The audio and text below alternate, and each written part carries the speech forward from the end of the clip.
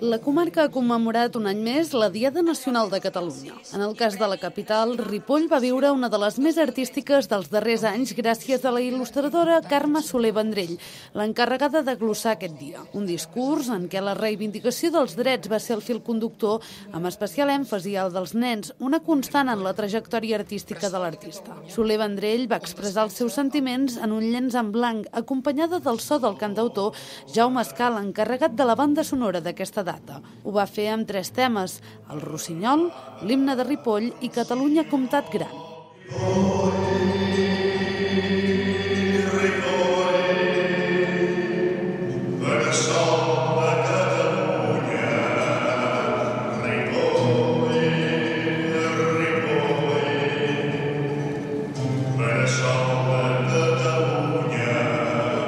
Com cada 11 de setembre, entitats i partits polítics van fer una ofrena floral als peus de la tomba del comte Guifré, personatge clau en la creació de la nació. Una figura, la del comte, que també va ser punt de trobada a Sant Joan de les Abadeses amb l'ofrena a la corona.